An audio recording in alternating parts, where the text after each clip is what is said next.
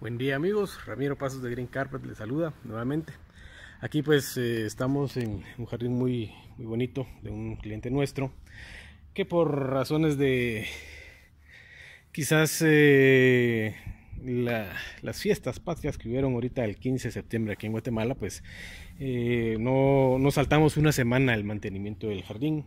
En este caso pues lo que él tiene sembrado es Kikiyú y como pueden observar pues aquí ya ya hicimos la limpieza pero nos falta este pedazo de acá. Ven el crecimiento agresivo de del césped por lo que pues siempre la recomendación no dejar pasar tanto tiempo.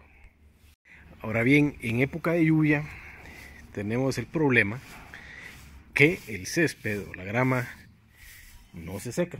Si podemos ver el cielo está nublado y así se ha estado toda la mañana entonces todavía tenemos una grandísima humedad acá.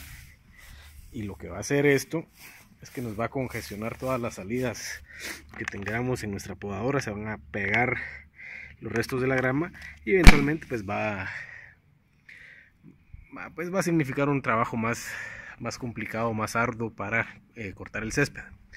Por tanto, la pregunta es qué hora será la mejor entonces para cortar la grama son las 10.43.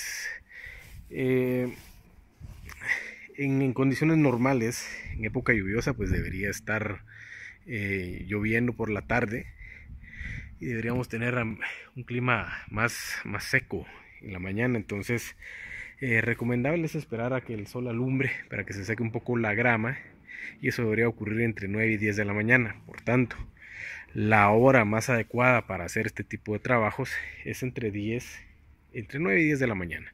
A las 10 pues ya esperaríamos que, que, la grama esté más seca. El día de hoy no es el caso porque sigue nublado y tenemos una gran humedad en la grama. Entonces es como que si hubiéramos venido a las 7 de la mañana y no hemos avanzado mucho. Entonces eh, para todos aquellos que, que, gusten de mantener sus áreas verdes, yo les recomiendo que no madruguen tanto.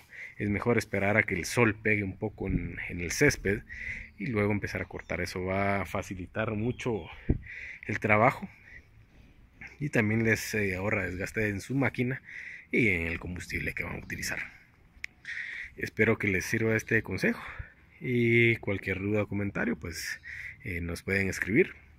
Si te gustó el video regálame un like. Si quieres recibir más información puedes suscribirte.